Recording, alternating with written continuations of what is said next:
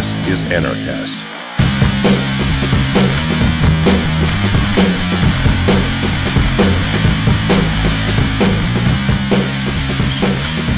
Hi, everybody. Welcome to another edition of Anarchast, your home for anarchy on the internet. I'm here in Acapulco, Mexico, and I have Debbie Harbeson coming in from Southern Illinois, and she's a big proponent of unschooling, and I'm really into this unschooling thing, and I hope you are too, and peaceful parenting. And we're going to talk a lot about that. But before we get into that, let's find out, Debbie, how did you become an anarchist? Um, hi, Jeff. Just one note to begin. It's Southern Indiana. oh, sorry, Southern Indiana. Sorry. Um, anyway, uh, yeah, let me tell you my story about how I became an anarchist. Um, for me, the root, looking back, I can see the root was a personal experience that I had. Uh, most specifically, something that happened whenever, you know, after I became a parent, um, I decided to, my kids had started school um, beginning of first and second grade. By that time, I decided that I was going to chuck all that, take them out of school and, and do our own thing. And I found out that that wasn't necessarily as easy as I thought it was going to be. I had my first run-in with government. The county I happened to live in um, went uh, past even what the uh, state law said to try and gather information from homeschoolers, and I was with a group of people who decided not to comply with that to get this county, you know, back on back on the, the path again. And as part of that, I received a we received a letter in the mail, a threatening letter saying that if we didn't follow and do if we didn't do what they say that we would be charged with educational neglect, which was actually a felony. And I thought, really? You're kidding me? You're going to charge me with a felony because I want to keep my kids at home. So I was doing just fine and suddenly they become compulsory school age and all of a sudden you got to watch over me. The worst part about this letter was that I'm sitting there reading it. These are the people telling me that I need to report to them. I need to be tell them that I'm qualified to do this. And there was at least three spelling errors in that letter from um, the prosecutor's office. I circled it in red, and when my husband came home, I said, "Look at this. We should just mail it right back." And he wisely suggested that we did not do that. and so I didn't. But as it as it turns out, that all kind of got worked out um, we didn't have to turn in that information. We moved to a neighboring school district not long after that, and uh, we're not bothered again. But that was a very, very difficult time for us, or for me to, to, to think that that kind of stuff was happening. I had to worry about that when all I wanted to do was figure out how I was going to educate my own kids. Um, and then on, on the same lines of that, then as I started educating my kids, I started learning more about freedom in that regard and started reading books. Actually, before I homeschooled, I started reading books of a wonderful, wonderful man named by the name of John Holt. He he wrote a he was an education reformer in the 60s and 70s. He finally figured out that schools weren't where it's at, and he started encouraging people to leave school, and not only to leave school itself as the building, but to leave the whole attitude of school. Um, generally, what people are doing now, I mean, we call this now unschooling he kind of started, some people say he coined the term. I think he may have used the term unschooling first. Um, but as I did that, then I started seeing that, you know, this letting people go, letting them do things the way they're going to do them, that works pretty well. And I, I was getting a magazine at the time, Home Education Magazine. There was always a very interesting column in there from a couple, with their last name I think was the Kasemans. I don't know if they still write that column, but now my perspective now I know that they were writing from a libertarian perspective. Started learning more about this libertarian idea, running into that here or there. Um, ended up joining the Libertarian Party of Indiana. My husband and I even helped it grow. We, uh, we started the local county affiliate down here. Um, I ran an educational campaign for state senate all those experiences started confirming for me more and more that really that that wasn't going to solve anything either. The interesting thing about being in the parties, I just I just kept on going. I was continuing to learn, read more, try and figure things out, and I kind of started bumping heads with people in the party. There's always if if you've been in the party, there's this purist pragmatist debate that's kind of always going on um, and disagreements on how you should run the political party. I read Murray Rothbard's book For a New Liberty, started thinking about things, asking questions, and some of the questions they didn't really, you know, want to hear. Finally, somebody said, just why are you, you know, you're an anarchist. You, you really don't belong here. and I said, oh, okay, really?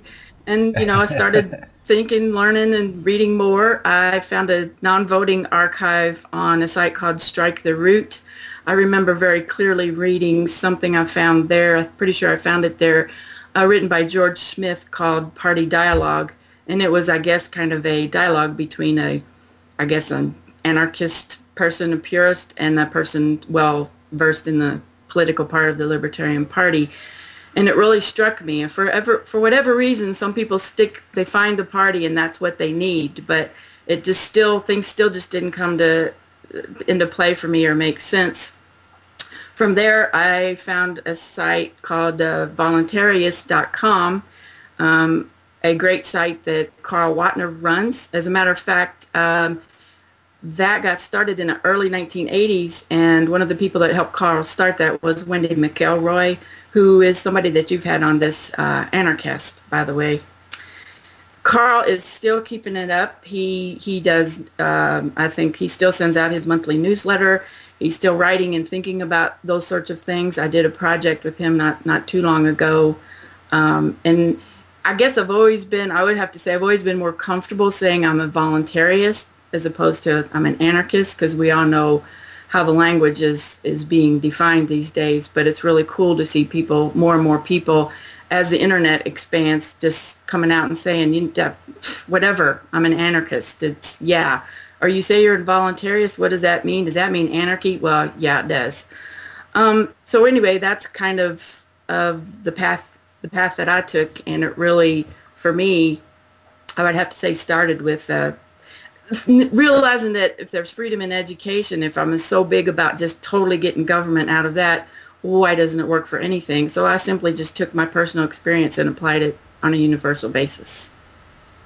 That's great. And yeah, the word anarchy, of course, has been uh, totally uh, misused or uh, manipulated over time. Uh, the government, the media always like to say whenever anyone breaks a window at a Starbucks that it was anarchists, or if a bomb went off somewhere, it was an anarchist.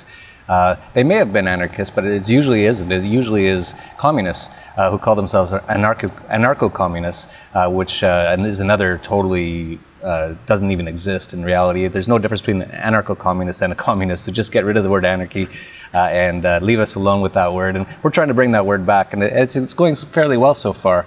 And and as far as your progression, yeah, it's really uh, brought you down that road once you got a letter from the government saying that they basically owned your kids. Right.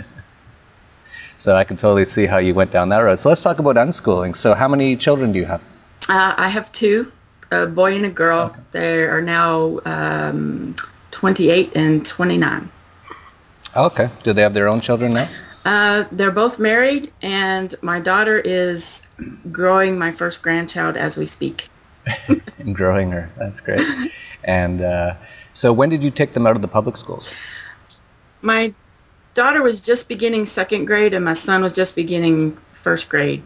I was saw problems when my daughter was in first grade, but still just trying to, you know, thinking other things were going on or whatever, and continuing. You know, I learned myself a little more about homeschooling and stuff. Which, by the way, I met someone before the kids even went in school who said that they were going to that they were homeschooling and I thought that was a very strange thing to do and it was probably less than 4 years later that I was right in there doing the same thing.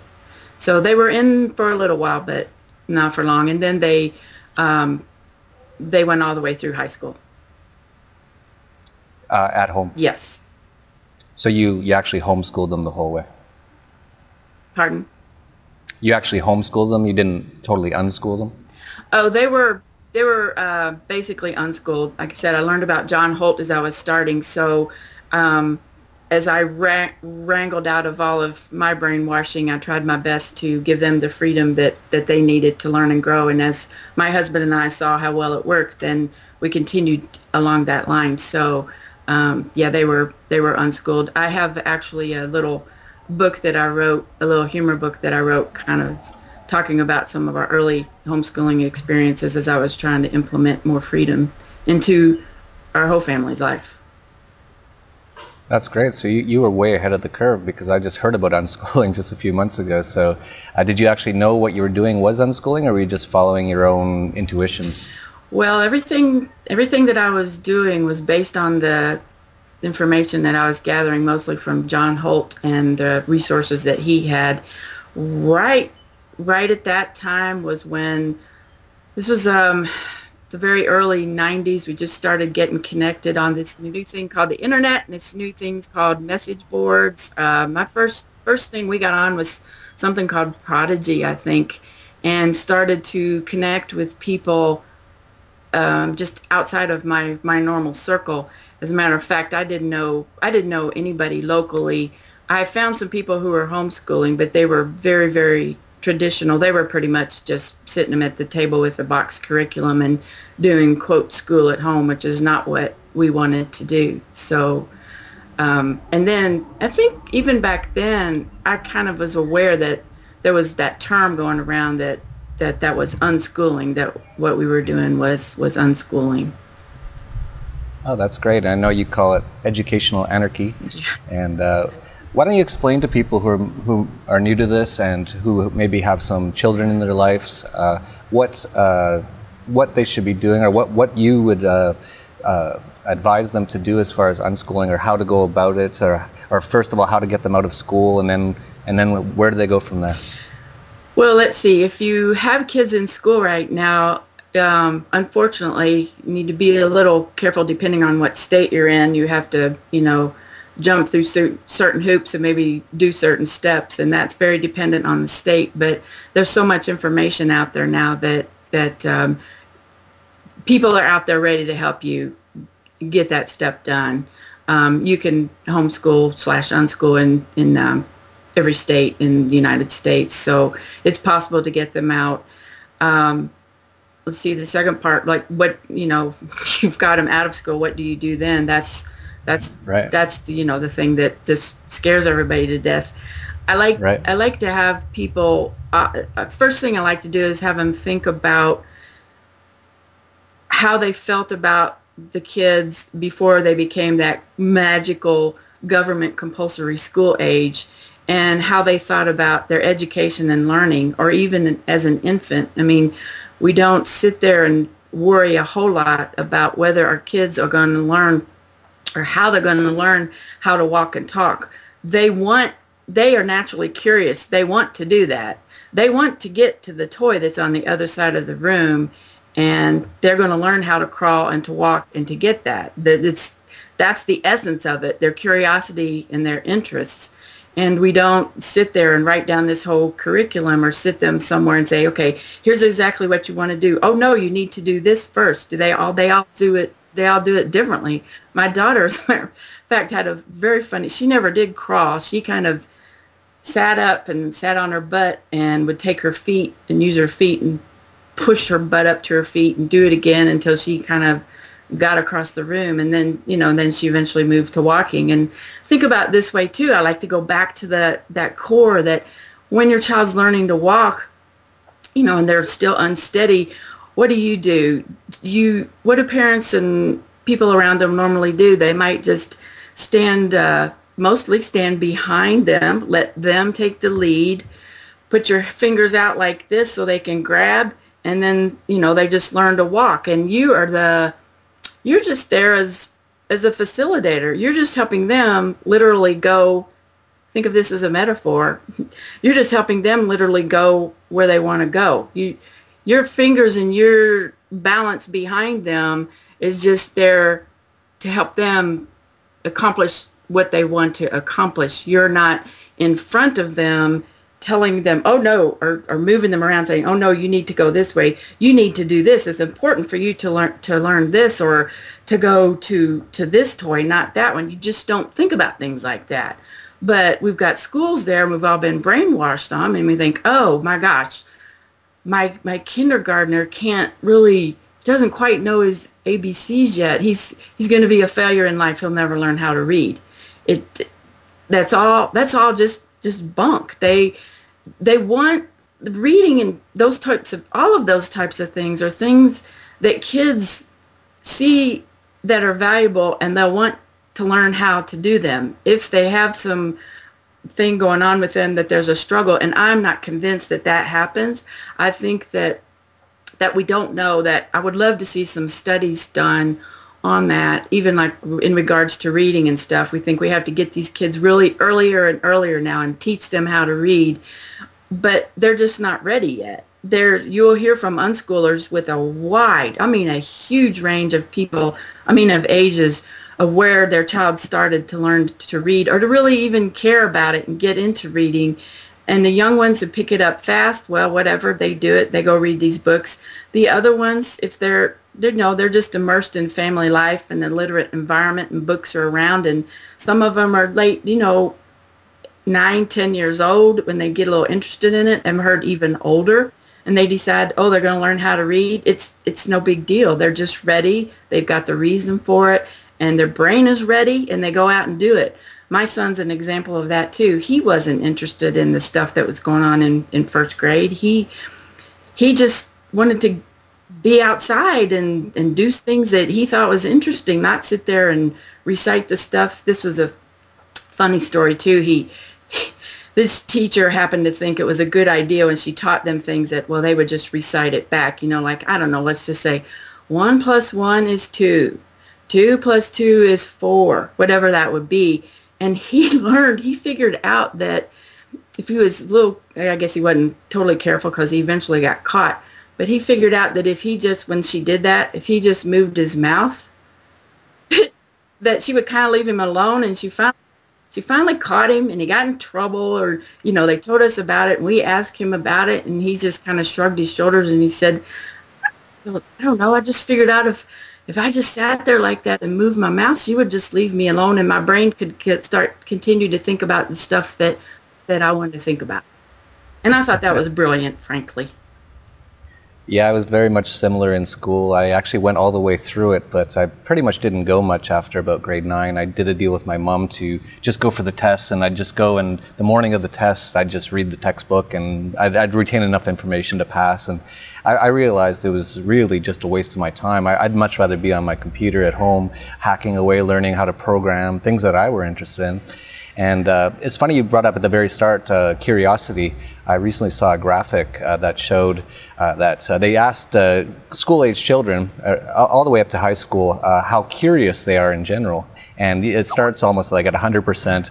by grade six, it's down to about 60%. And it just keeps going down, down, down until finally they're barely curious at all because they've just had all the curiosity driven out of them by this forced education of things that at that moment in time they probably didn't care about, or if they did, that's fine, but that's pretty rare.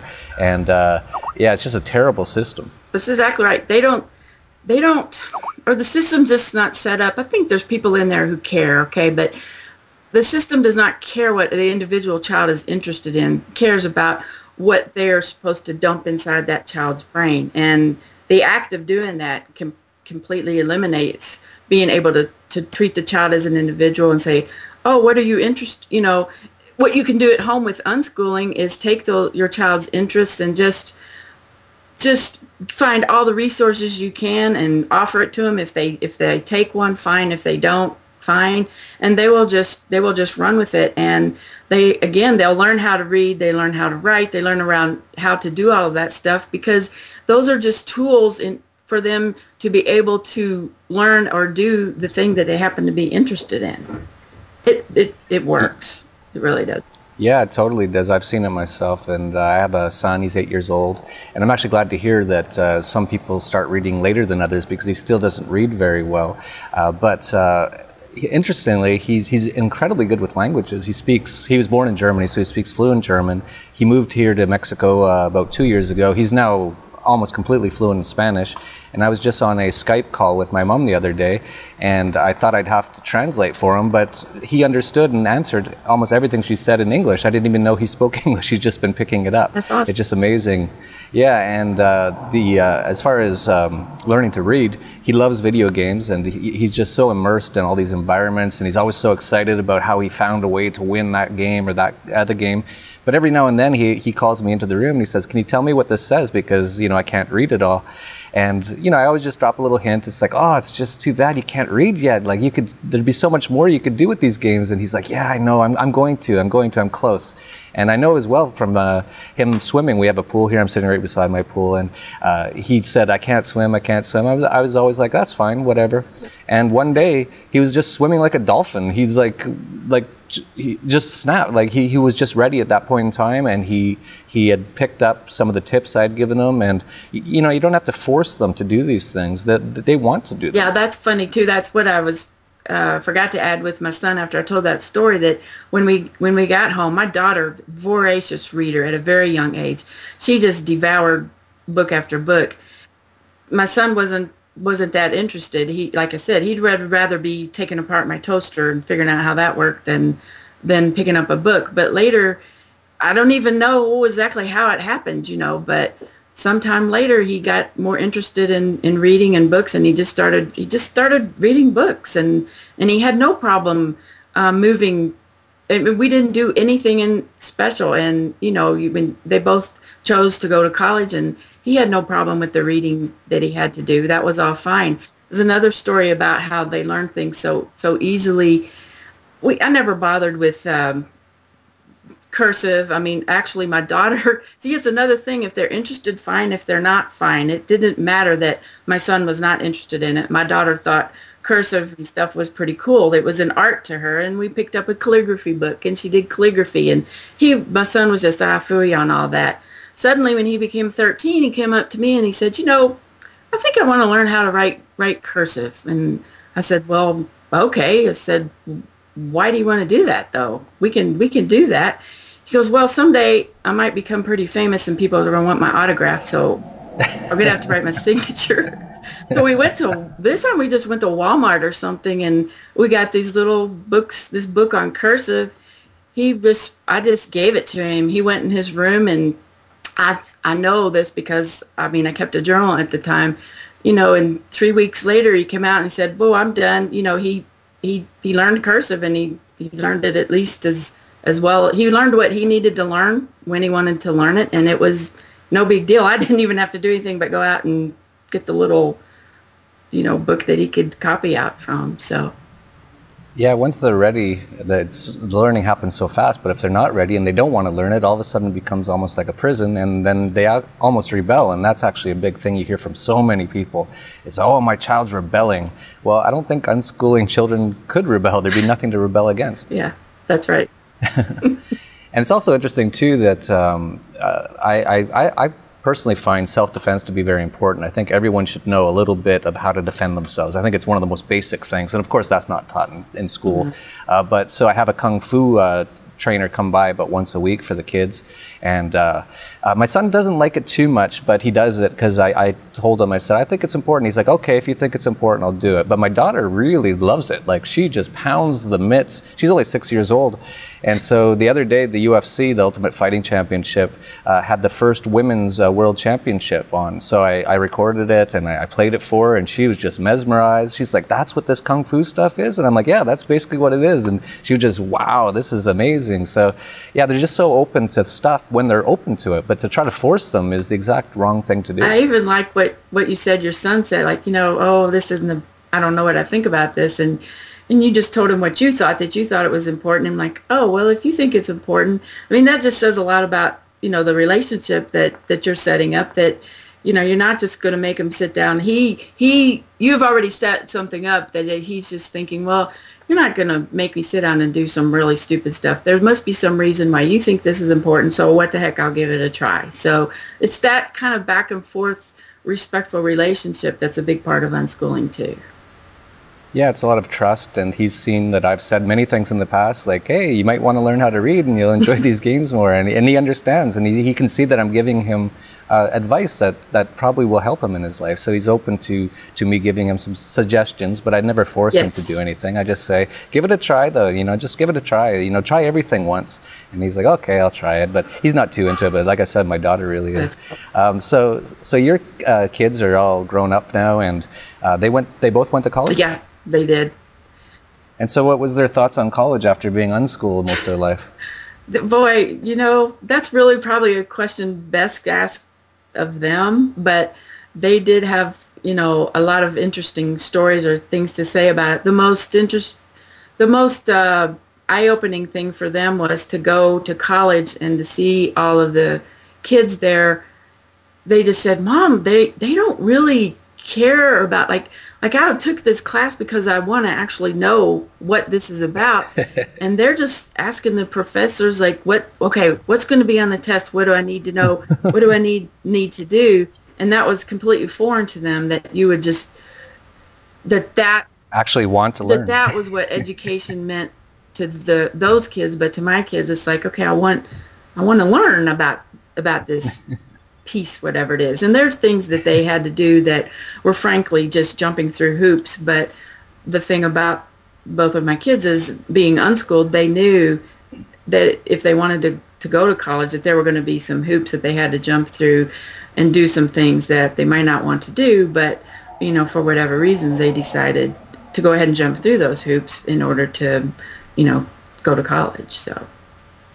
And I assume they both wanted to go to college. Uh, of course, uh, you wouldn't have just put them in college. No, I was actually saying I don't even know if you really need to do that. And my, my husband wasn't quite quite so sure about that. So they have, you know, you have the combination of a lot of different things for each individual family and each individual. Yeah, and there's so many resources out there now. Anything you want to learn is on the internet. Uh, but if you do want to go, go ahead, go. Uh, but it's definitely not uh, something necessary like uh, it's published and, and propagate, propagandized in, in the U.S. Well, so much has changed even now. I mean, even in that in that shorter time period. You know, if my if both of the kids were what 15 years younger, it would be interesting to see what kind of decisions they would make. Because you're right, it just boomed. I mean, there's so many, so many things out there, so many ways to do things. Only thing that bothers me now about college degrees and and encouraging people to not do it. I mean, it, the only thing that bothers me about it is there are so many things out there that someone might want to do that a college degree is used as another checkbox uh, of something that you need to have in order to do it. It's become, it, it can be kind of a barrier. I like that a lot of people in unschooling now start talking to more about, you know, entrepreneurship, doing your own thing. And I mean, both of my kids were very, very busy doing that kind of thing in, in high school too. They did all, uh, you know, some of the traditional type things, you know, babysitting, mowing lawns, um, um, doing those sorts of things. My daughter laughs. We have a being home being homeschoolers. We lived in a neighborhood with a lot of young kids that all very very busy doing a lot of babysitting, and she did a whole lot for one particular family. And at the point, I don't know how how old she was. I mean, maybe it was when she was 16 and got her license, but. Uh, my husband took her out and they found a car and she used her babysitting money to pay cash for her first car. And and she drove it over to the neighbor's house to show it to him and said, look at this. I said, I just want to thank you guys for helping me get my first car because that's where she gets the cash from to do it. So. Wow, that's great. And uh, my kids are still quite young, but I'm really looking forward to when they get a little older and I'm going to really sort of not push them, but give them a bit of direction as to becoming entrepreneurs. Uh, you know, the school system is mostly made, as you know, to train workers uh, and train them to cut, show up at nine in the morning, leave at five, and don't ask questions, and it mostly just uh, you know tra- trains people to blindly obey things. And so I'm really looking forward to that. And recently, my daughter asked, she, we have an iPad, and, and she wanted this one uh, app on the iPad, and it cost $2.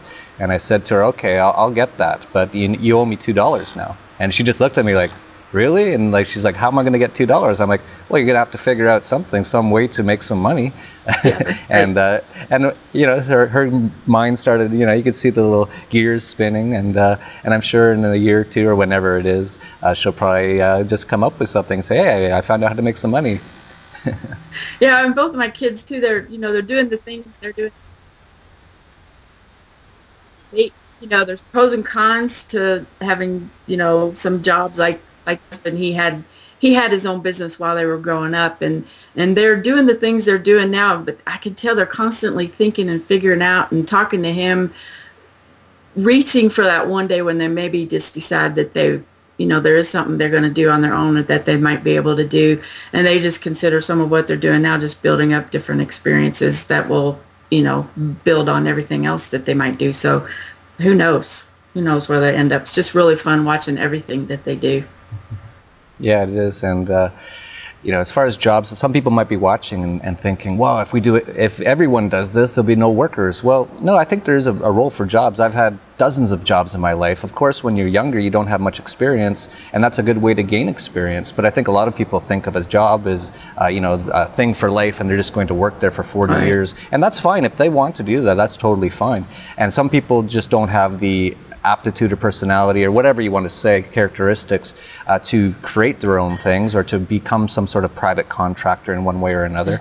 Uh, but uh, definitely, we could use more people like that, and so and and we're definitely not getting them out of the out of the school system. Almost everyone who graduates college, if you ask them, okay, now what are you going to do? And the first thing is, I, I want to get a job. It's it's not even on on their mind to uh, try to create something on their own, their own private business, even if it's just one person, a private contractor. They just haven't been, uh, uh, it, you know, educated on those sort of ideas and, and ways of doing things. Yeah, yeah. All right. Well, this has been very interesting. It's a lot for people to think about, and so we'll let them think about it. And uh, do you have a, a, link to your book uh, that people can buy, or any other links you want to mention? You know, I have several resources for homeschoolers that I just have available for free. I have a website that's just my name, debbieharbeson.com. That's D-E-B-B-I-E-H-A-R-B-E-S-O-N dot com. I have a, you can find a link to my book there. I have a couple videos that I have on there that I did. I did a talk on unschooling at uh, Libertopia one year, and I did another little unschooling talk on um, something called Agora IO um, that was done online. Really, that whole thing was kind of a very cool unschooling way of, of doing things.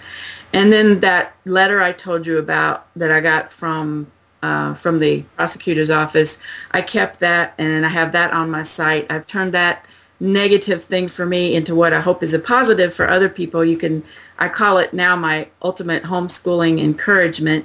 And so that links on, on there as well. And, and uh, so I like send people there and tell them, you what, you think you can't, you homeschool or you think you need the government looking over your shoulder? Go check this out and tell me what, then tell me what you think. So all of that, you can get to all that from there. Okay, we'll try to put as many links as possible, and people have a lot of homework to do if they want to do it. We won't force them to do it. And uh, so, yeah, that's another edition of Anarchast, your home for anarchy on the internet. Peace, love, and anarchy.